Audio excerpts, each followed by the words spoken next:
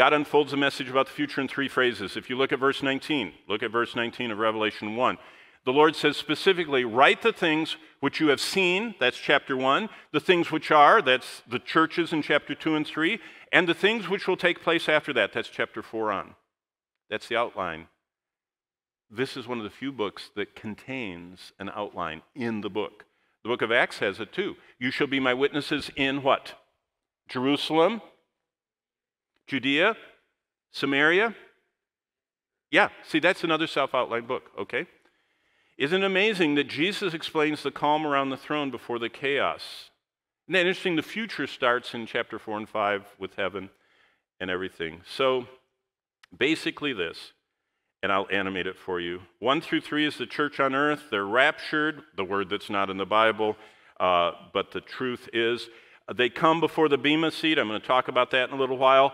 While they're up there, the, the anvil, the, the hammer strikes the anvil, ended by the, the second coming of Christ, who comes to rule for a thousand years. And the word millennium is not in the Bible, but thousand years is six times. I heard you say it. And the rebellion, great white throne, and heaven. So, really, what is chapters two and three? Well, one, and then in the next few classes, two and three, all about? What does God want His church to do as the earth dies? By the way, you know the earth is dying.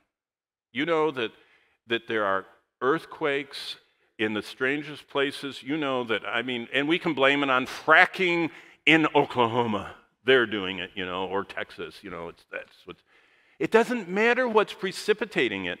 The reality is, no matter what anybody says, the earth is dying. I mean, there are, there are less fish, there are less, there's less breathable air. Did you know that, that birds fall out of the sky in Mexico City because the air is so polluted and they have such little lungs. If they breathe it too long while they're flapping along, it just kills them and they. It's terrible. That's what's going on in our world. So, what are we supposed to do? Save the birds? Is that what God. There's nothing wrong with taking care of your animals. But what, what was the mandate that our Redeemer gave us as his church? See, that's, that's what we're looking at.